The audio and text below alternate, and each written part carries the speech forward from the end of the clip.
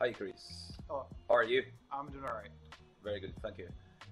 We uh, really nice to meet you again for second time after one month, practically, uh, almost two months, right? Yes. Yeah. So now you have two printers.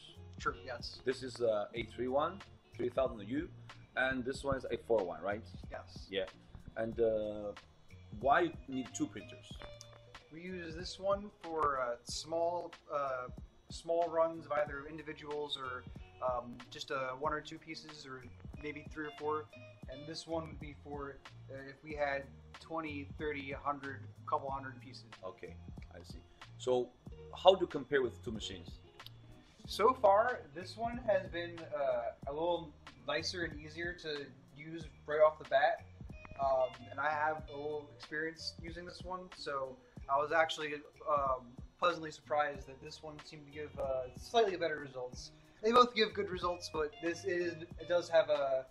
I don't know if it's just um, the settings are easier to adjust for what you want, or if it is just a nicer quality overall. But this definitely has been uh, very good.